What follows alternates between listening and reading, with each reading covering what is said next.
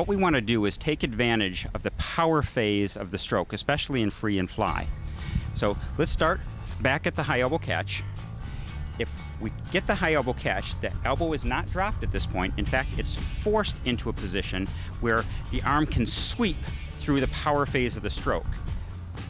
With a high elbow on this plane, it allows us not only to engage the shoulder and arm, but it also effectively engages the back and the lats.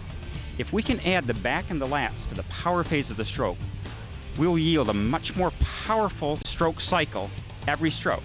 So we're getting distance per stroke, but we're also getting more power with the added muscle groups of the back and the lat muscles as the elbow stays high through the stroke. Now what the halo does is simply, it allows you to drop that elbow, but as soon as you touch that halo, it reminds you, I need to keep this high.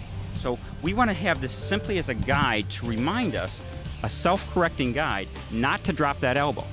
Now it would be nice to get on the bench and try it just once and learn that stroke, but what you need is muscle memory. And that's why the bench is not just a one-time deal, but you need to train with it to train that muscle memory. So high elbow catch, proper stroke path to engage the back and the lats.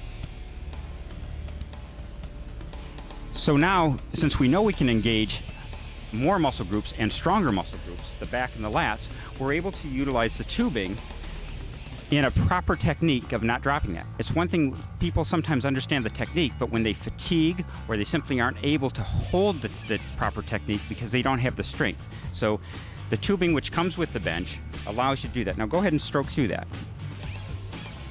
But here you can see the tubing forces the high elbow catch. And will you do that slow motion for me? Forces the high elbow catch and then allows us to do this push phase utilizing again the back and the lats.